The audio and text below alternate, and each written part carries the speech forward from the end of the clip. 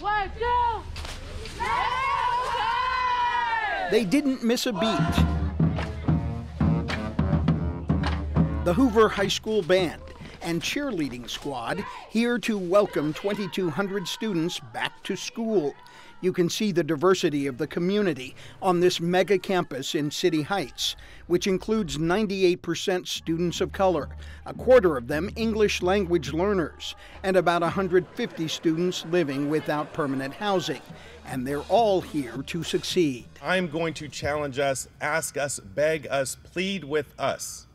Create the conditions for them to be amazing now and into the future. Hooray! Hooray! These are some of the players on the girls' flag football team, a new league sport coming to 17 San Diego Unified campuses for the first time. It's good because you want to encourage more people, like little kids, to look up at you, and I feel pretty nice with it. It's really fun because we never had flag football at our school before, so it's the first time, and it's like nice to make history. Your blood pressure's like around 130, like between 140. Juniors and seniors at Hoover will begin sports medicine classes this fall. Now you can angle it up through the hand. This renovated classroom space will be used to educate students on how to practice medical protocols on each other while working to improve their academic grade point averages and explore career options. EMT, physical therapy, nurse. If you think of the skill sets we're learning here, it doesn't limit us to just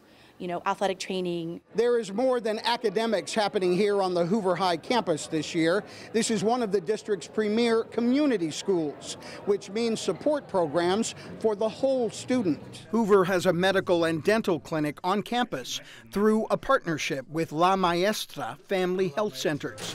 Feeding San Diego provides 4,600 pounds of dry food and fresh fruits and vegetables every month to stock the school pantry for families to use. And there is therapy and individual counseling sessions available too. You can't learn if you're hungry. You can't learn if you're having trouble at home. You can't learn if you're dealing with mental health issues. You can't learn if your stomach hurts and you have an underlying medical condition. So we want our kids to perform at a high level. We need to make sure that we're meeting all their needs. And this is just the first day of school. MG Perez, KPBS News.